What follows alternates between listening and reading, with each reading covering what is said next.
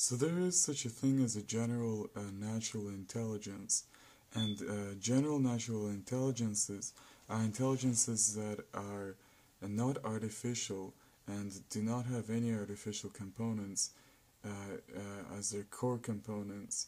So general uh, natural intelligence includes human intelligence. So there is a collection uh, the, the, there, there, is a, there are collections of extraterrestrials that exist in the multiverse that have um, intelligence uh, capabilities that are uh, actually superior to humans that are also natural.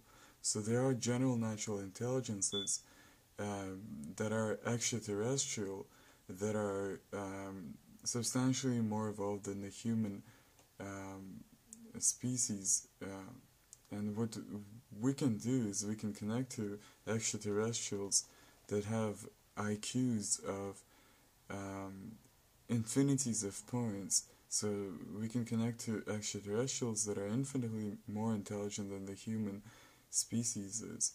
And what we can derive from these extraterrestrials are super intelligent technologies.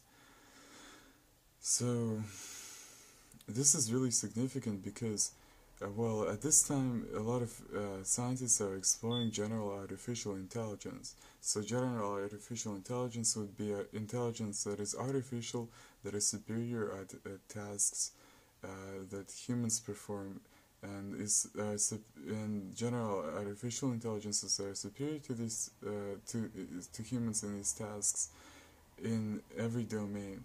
So general artificial intelligences are interesting. General artificial intelligences are interesting, but what's much more uh, evolved in many ways is a highly evolved general natural intelligence.